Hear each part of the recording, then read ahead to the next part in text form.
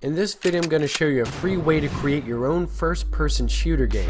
This will be a very basic two part tutorial but I will have more detailed downloads, links, and discussions at my forum which you can find here. I'm going to begin by teaching you basic level design and player and enemy placement.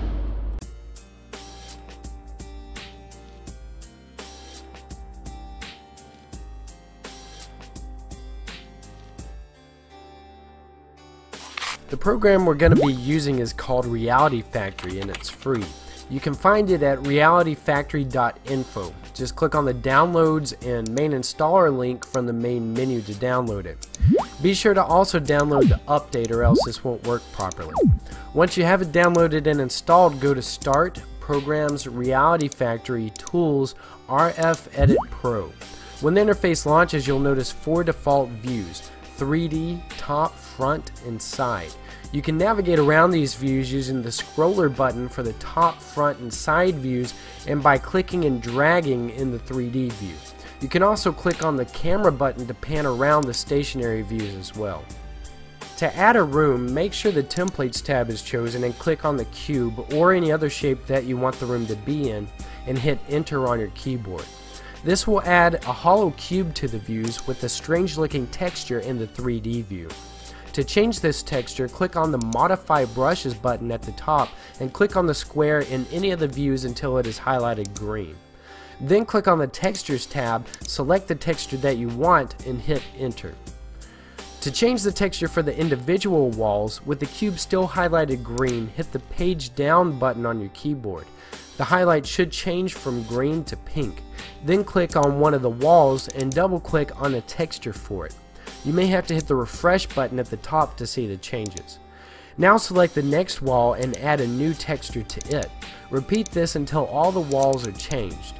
If you want to change the shape of the box, hit the page down key again and then zoom out in the top view and then click on the scale button at the top. Then drag the sides of the cube to move them. I'm going to make mine a rectangle. Now let's add a second room. Click on the Templates tab again, click on the cube and hit enter. Next click on the Modify Brush button and in the top view select the cube that we just added.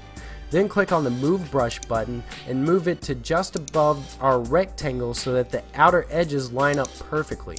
You may have to zoom in to make sure that they're perfectly aligned or else the game may error out.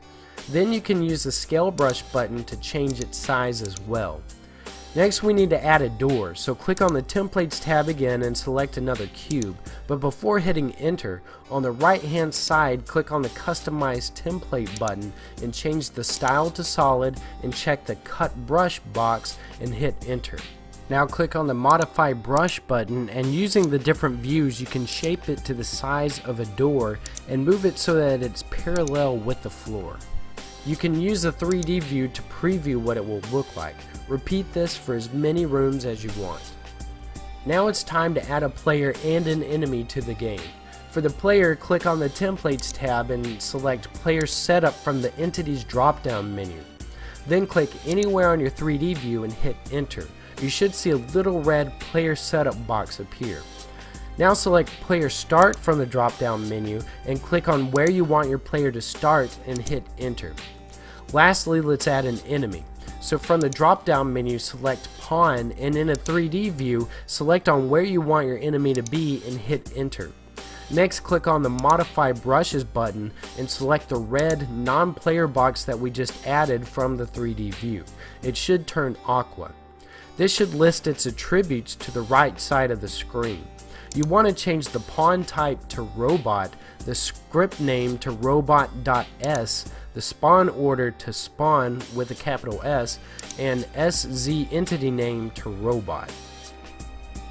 All you have to do now is click on the build button at the top to compile it. Check the box that says preview in Reality Factory and click OK.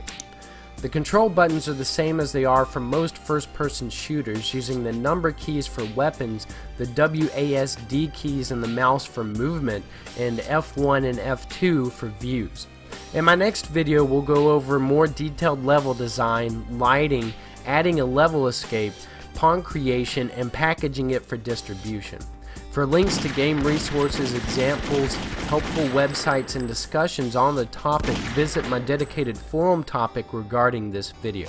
Feel free to check out tinkernut.com on Facebook and Twitter.